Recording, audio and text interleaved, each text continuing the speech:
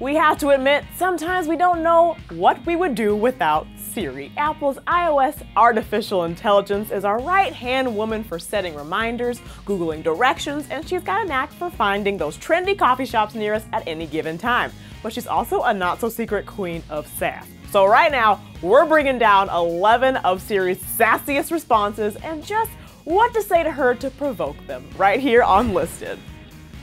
We've all heard the saying, there's no such thing as a stupid question. Our girl Siri confirms that statement while also confirming that although there's no stupid questions, there are stupid people, or at least she makes us feel that way. When asking Siri to help us with a simple math homework assignment, say, 0 divided by 0. Her answer will make you question your entire life.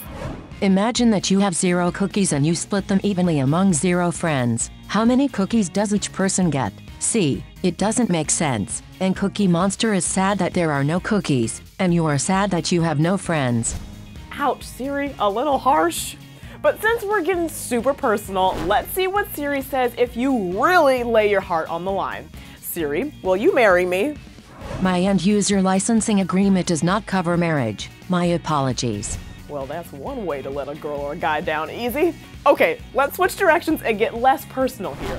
How would Siri answer some old elementary school tongue twisters like, how much wood would a woodchuck chuck if a woodchuck could chuck wood? Well, since a woodchuck is really a groundhog, the correct question would be, how many pounds in a groundhog's mound when a groundhog pounds hog mounds? Okay, Siri clearly never got behind the spirit of tongue twisters, but to each their own, fair. Way to take that one way too seriously. But speaking of Siri, why is she called Siri anyway? Like, why is your name Siri? What does my name mean? I don't think I can explain it in your language. Sorry.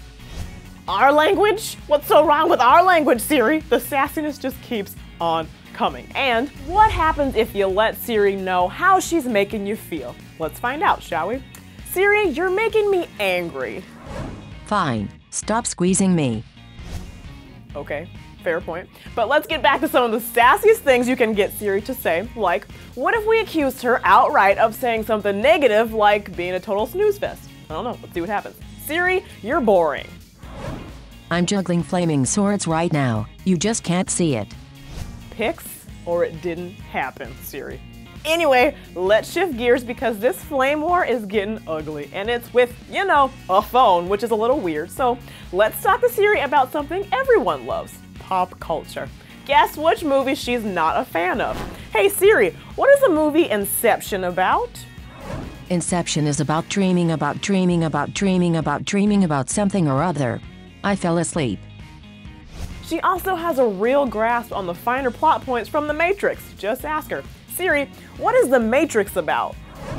It's about Keanu Reeves and reality and red pills and blue pills and black leather and guns, but mostly about Keanu Reeves. Siri also isn't the biggest fan of the Marvel Cinematic Universe. She seems to have a chip on her shoulder about one character in particular. Just watch. Siri, can I call you Jarvis? Sigh. I think that guy cheated off my exam in our intelligent assistant finals. Okay, so since Siri knows all, pop culture fanatics around the world have taken to asking her their latest burning questions, like who are Jon Snow's parents on Game of Thrones? Let's just say there's some fire in the snow.